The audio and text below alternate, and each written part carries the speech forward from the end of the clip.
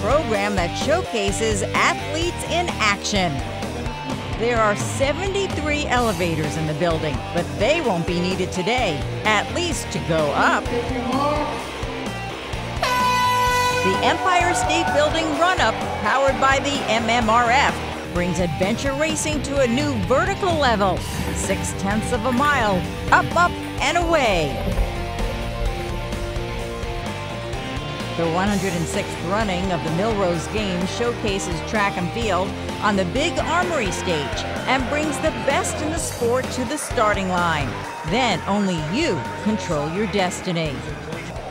Joining the World Marathon Majors, the Tokyo Marathon, 35,000 strong, a downtown tour past the Imperial Palace and the Ginza.